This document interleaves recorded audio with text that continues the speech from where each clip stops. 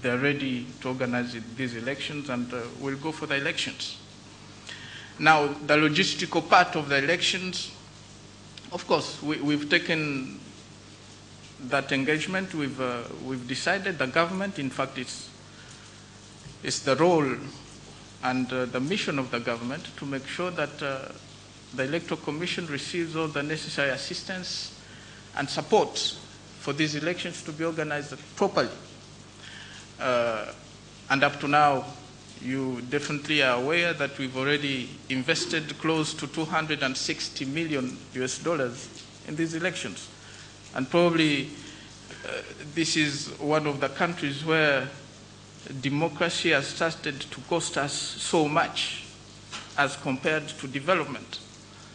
Uh, so that shows the determination that we have in order to make sure that these elections are organized and that they are free, fair, democratic, and, uh, and, uh, and credible elections. So I don't have any worries uh, in as far as the two issues are concerned. Une dernière question, presse internationale anglophone.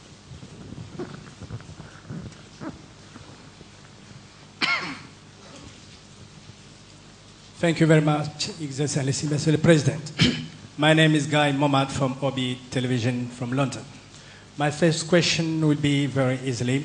It's about what people are saying abroad about your new political. People allege that you have turned back to Europe and uh, the situation is that we are going to China. And recently they are talking about India who are involved uh, right now in Congo. The second question will be because this is also a community-based television. It's about Congolese diaspora in London and UK. Many people are expecting to see you in London. We have seen you in Paris, in Belgium, and what's happened? There's no any answer to that. This is a reason why I'm asking this question for many Congolese who are living abroad. Thank you, Excellency. Well, thanks a lot. So I was expected to be in London. Unfortunately, I just cannot get on my plane or in my plane and travel to London. I have to have an invitation to, to come to London. I, I, I, I haven't had uh, such an invitation for, for quite some time. And uh, the other truth is that I'm very comfortable staying in Kinshasa and uh, Kinshasa and the Congo in general. But uh, when time, when we get the invitation, we definitely will come to London. I was in London, I believe, uh, four years ago. That was, was in 2007. Uh, and why not? Anytime we get an invitation, we'll do that.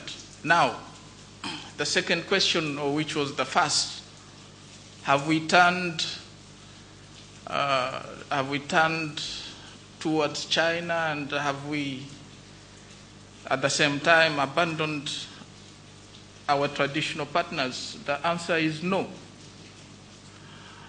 Uh, the answer is no. The Congo is a, a free country. The Congo is an open country.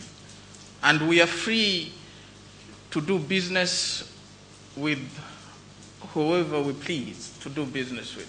We are free to do business with any country in the world, uh, and uh, we have exercised that right to do exactly that.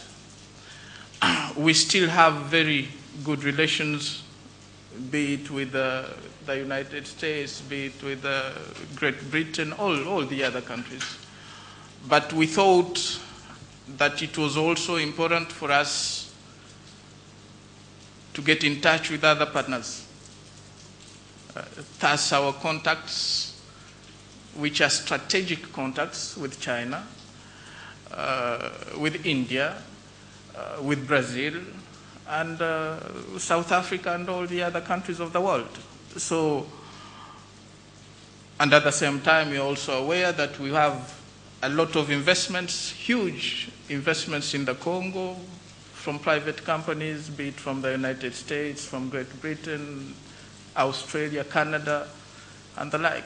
So the Congo is, is a free country and uh, free to choose its friends, and we have very many friends. China being one of those, India, and all the others that you, you mentioned. Sure.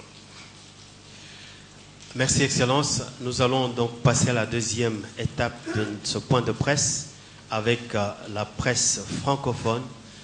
Euh, nous allons euh, commencer, s'il vous plaît, je vous demanderai d'être aussi succinct que nos confrères de la presse anglophone. Soyez succincts et je pense que nous allons procéder par d'abord des questions d'ordre politique. Ensuite, nous passons aux questions d'ordre économique, le social et puis les questions d'ordre sécuritaire. Si nous pouvons procéder ainsi, alors nous prendrons trois questions à gauche, trois questions à droite sur des questions d'ordre politique.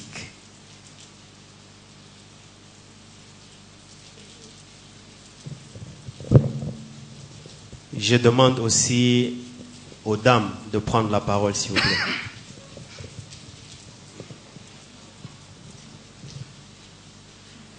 Monsieur le Président, les cinq chantiers, on m'a demandé de commencer par euh, des questions d'ordre politique.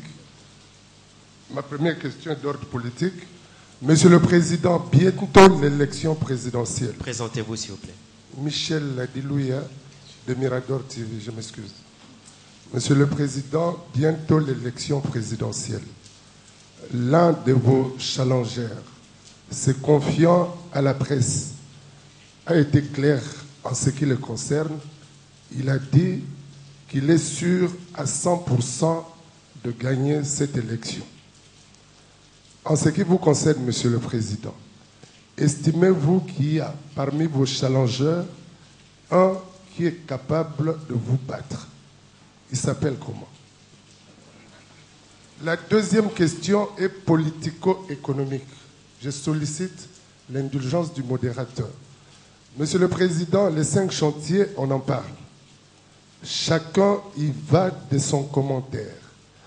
Mais nous voulons profiter de cette opportunité pour connaître le point de vue de l'initiateur, du concepteur des cinq chantiers que vous êtes. Monsieur le Président, estimez-vous que les cinq chantiers constituent une réussite? Voilà mes deux questions. Merci. Merci beaucoup. Je vais commencer par euh, les cinq chantiers. Et certainement que toute la journée d'aujourd'hui, on va parler des cinq chantiers. Euh,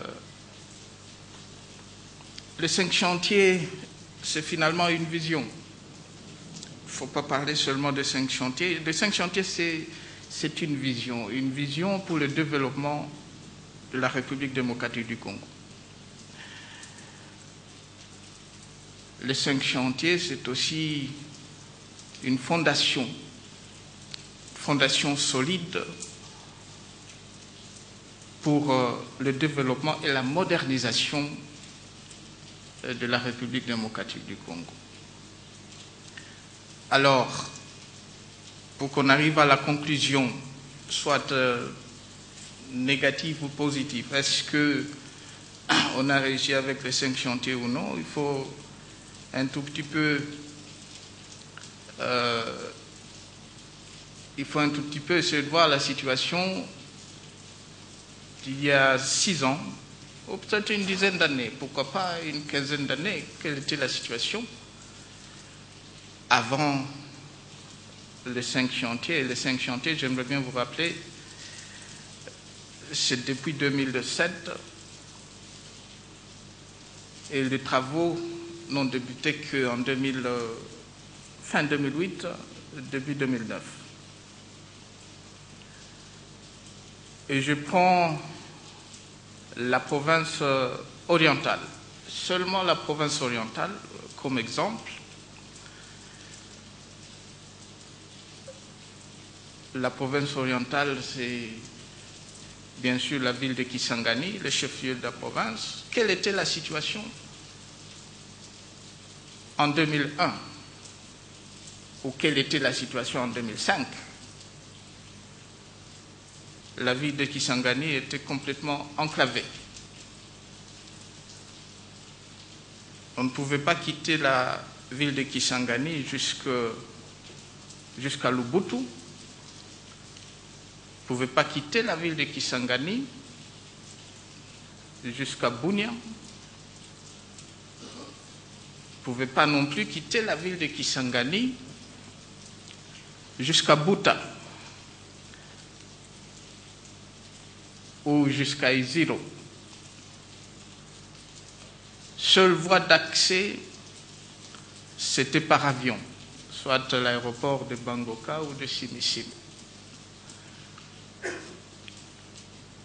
Quelle est la situation aujourd'hui?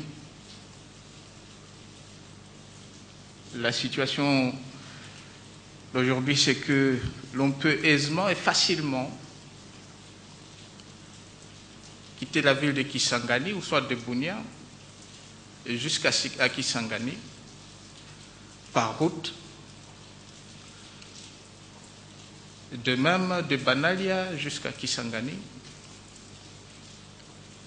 De Bukavu jusqu'à Kisangani par route.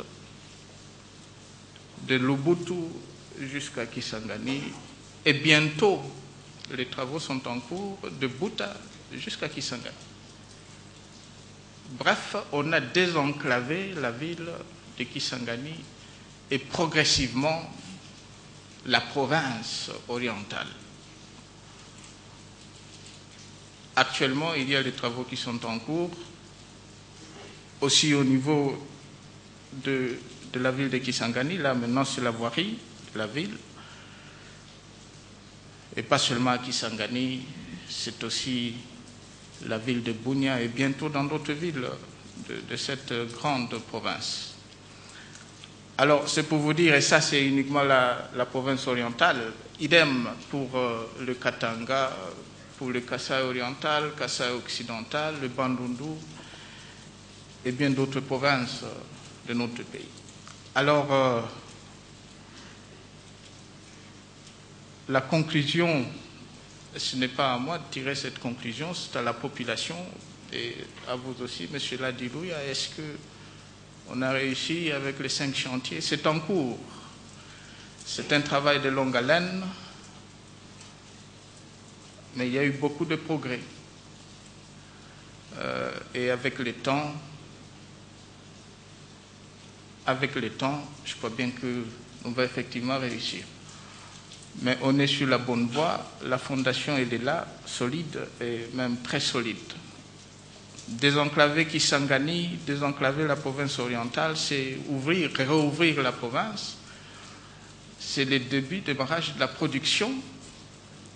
C'est l'évacuation des produits, que ce soit de Bouta jusqu'à Kisangani, Ziro jusqu'à Kisangani. On va de nouveau commencer à exporter le café de Bouta et d'Isiro. Alors, euh,